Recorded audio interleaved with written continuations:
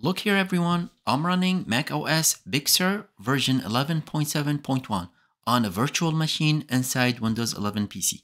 I can browse the internet, install apps from the Apple Store, check my email and do everything else. Welcome back everyone. In this video, I'll show you how to install Mac OS Big Sur on your Windows 10 or Windows 11 using a VirtualBox. Let's get started. Before we get started, make sure you have at least 80 GB of free space for the Mac OS installation.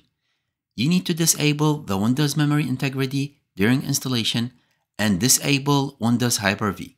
And make sure virtualization is enabled. To disable Windows memory integrity, click on the Windows search icon in the taskbar and let's type core. Select core isolation from the suggestions then toggle the switch to turn it off. Now you can turn it back on once the installation is complete. It will ask you to restart. Dismiss for now will restart after applying the other changes. Next, let's disable the Hyper-V.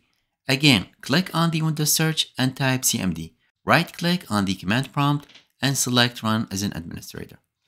In the command prompt window, copy the command to disable Hyper-V from the video's descriptions and paste it here. You should see operation completed successfully. Close the command prompt window. To check if virtualization is enabled on your PC, right click on the taskbar and select Task Manager. Go to the Performance tab, then CPU, and you should see it here. Mine says Enabled. And now let's go ahead and restart your PC to apply the changes. Once restarted, now we need to download the macOS ISO image file. Open a browser and let's search for macOS ISO download.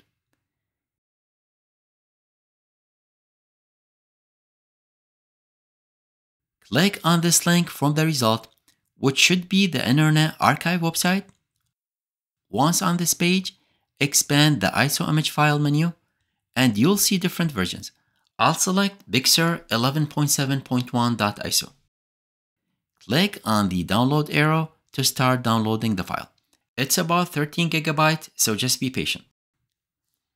Next, we need to download and install VirtualBox. So let's open a new tab and search for VirtualBox download. Click on this link in the results. You'll find the direct link in the descriptions as well. Click on download from the top. Once on this page, we're not going to install the latest version due to compatibility issues. Therefore, we need to download an older version that is known to work.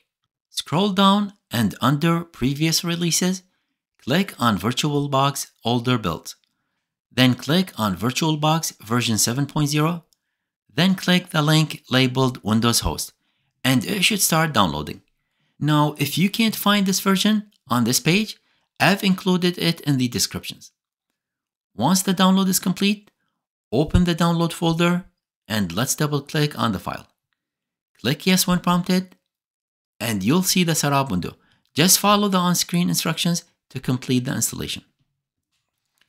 And now you should see the VirtualBox dashboard. Click on new and let's type a name for the operating system. I'll call mine Mac OS. Here you can change the installation folder location if you like Click on the ISO image dropdown and select Other, and browse to the Mac OS ISO you just downloaded. Select it and click on Open. For the type, keep it as Mac OS X, and for the version, keep it as Mac OS X64-bit. Then click on Next. For the hardware section, you need to assign RAM and CPU to the new virtual machine. Now, it's recommended to have at least 4 GB of RAM. Assign half of what you have. If you have 32 GB, assign 16. If you have 16, assign 8. And if you have 8, assign 4. Now, to find out how much RAM you have, right click on the taskbar and select Task Manager.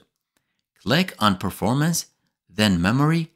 You'll see your total RAM here at the top right. For example, I have 32 GB, so I'll be assigning 16 GB. For the processor, Let's start with one because sometimes if you select more than one, it gets stuck in the installation. Once you install it, you can come back here and increase it to either 2 or 4. Click on Next. Now create a virtual hard disk and assign disk space to the virtual machine. It's recommended to have at least 80 gigabyte. You can assign more if you like. Click Next, then Finish. And now you should see the Mac OS listed on the left. Now before running and installing it, we need to make some changes. Right click on it and select Settings. Then select System from the left menu. Make sure that Enable IO APIC, Hardware Clock, and Enable EFI are all checked.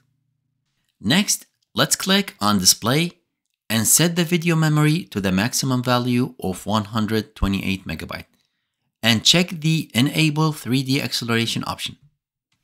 Then click on Network. Under Adapter 1, it should already be set to NAT. For additional backup, enable Adapter 2. Choose Bridged Adapter from the dropdown and select your wireless adapter. And finally, click OK to close the settings. Now we need to patch the virtual machine before proceeding with the installation. Just remember your virtual machine name here. Mine is called Mac OS. You'll need it in the next step close the VirtualBox completely and make sure it's not running in the background. Open the command prompt as an administrator again by typing cmd from the search box. Right click on the command prompt and select run as an administrator. In the command prompt, we need to run few commands. You'll find the commands in a file shared in the descriptions. The command file has two sets of command, one for Intel and the other one for AMD processor. Choose the appropriate set for your system processor. Now, before running the command, we need to replace the placeholder VM name with your actual virtual machine's name. Open the commands file in Notepad, select VM name, then from the top menu, select Edit, and then Replace. Type your machine names here. For me, it's Mac OS, and click on Replace All. Once everything is replaced, Copy the command and paste them into the command prompt and just wait for the command to execute. Once done, close the command prompt window and let's open the VirtualBox. Select Mac OS and click on the start arrow icon. The process will begin and it may take some time, so just be patient.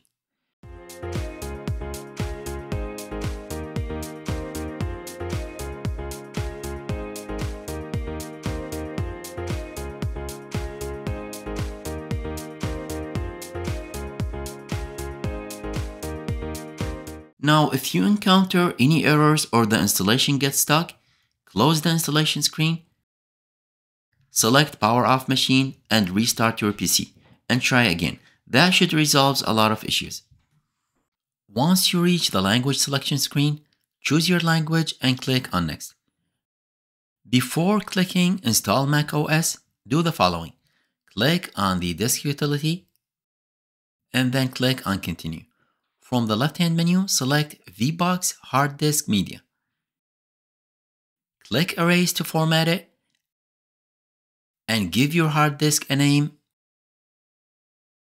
and then click on Erase again. When done, click Done and close the disk utility box. And now click on Install Mac OS and then Continue. Click Continue again, then Agree and agree one more time. Select the virtual Mac disk you created and click on continue. And now the installation will start. This process will take time, so just be patient.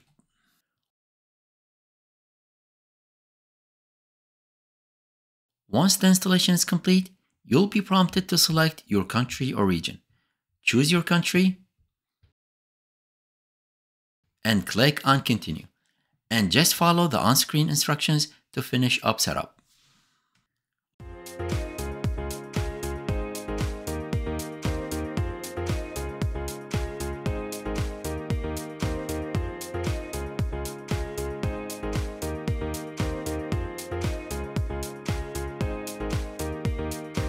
Alright, and finally, you're logged in into the Mac OS desktop. You can now enjoy various applications, explore the Apple Store,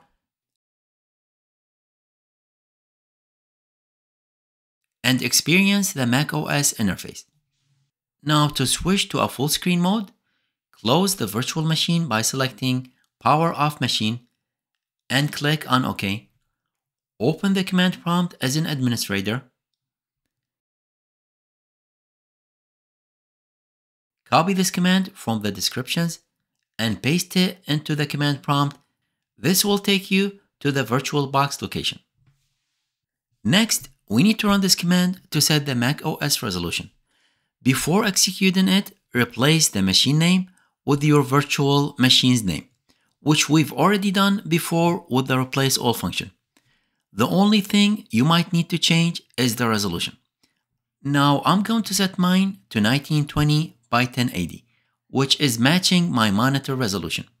To check your monitor resolution, right click on your desktop and select display settings. Scroll down and you should see it here under display resolution. Here under choose resolution, you can pick any of these resolutions and replace it in the command above. Once you change the command, copy it and paste it into the command prompt window. Once done, close the window and let's start the virtual machine.